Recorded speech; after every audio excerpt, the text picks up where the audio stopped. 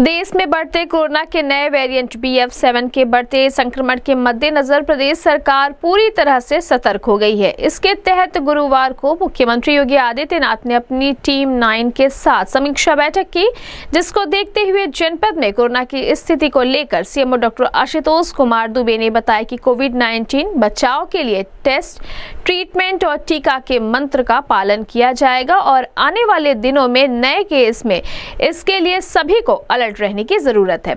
इस महामारी से घबराने की नहीं, बल्कि सतर्क और सावधान रहने की ज़रूरत है तथा कोविड प्रोटोकॉल का कड़ाई से पालन करना होगा।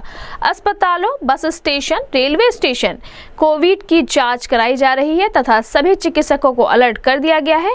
अपने जोनल कमांड सेंटर और कोविड कमांड सेंटर को क्रियाशील कर दे और आशाओं और एएनएम को किट की दवा दे दे और पूरे क्षेत्र में प्रचारित करें कि अगर कोई आईएलआई का मरीज़ मिलता है तो उसका जाँच करें। उन्होंने कहा बी एफ़ सेवन वेरियंट घातक है, लेकिन मृत्यु दर बहुत कम है। क्योंकि भारत और प्रदेश सरकार सभी को वैक्सीनेशन लगा चुकी है, इस वायरस में सर्दी, जुकाम, नाक बहना, पेट में दर्द, उल्टी, लूज मोशन की शिकायत हो सकती है।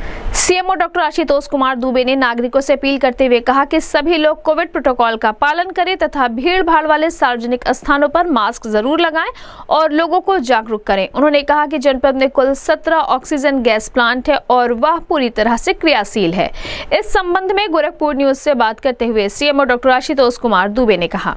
रेलवे स्टेशन, बस स्टेशन और हमारे यहाँ जो 24 घंटे होती थी जाँच यहाँ कराई जा रही है। सभी चिकित्सा अधीक्षकों को अलर्ट कर दिया गया है कि अपने जोनल कमांड सेंटर और कोविड कंट्रोल कमांड सेंटर को क्रियाशील कर दें और आशाओं एएनएम को कोविड किट की दवाइयाँ दे दें और क्षेत्र में प्रचारित कर दें कि अगर कोई आईएलआई या सारी का मरीज़ है तो उसको जाँच के लिए बुलाएँ, उसकी कोविड की जाँच कराएँ। और अगर कोई इंटरनेशनल यात्री आता है या किसी अन्य प्रांत से लोग कोई आते हैं तो उनको तब तक आइसोलेट करें और उनकी कोविड की जाँच कराएँ। कोविड की जाँच में अगर वो पॉजिटिव आता है तो उसकी जीनोम सिक्वेंसिंग कराएँ। और किसी प्रकार की भी शल्य क्रिया के पहले कोविड की जाँच अवश्य कराएँ।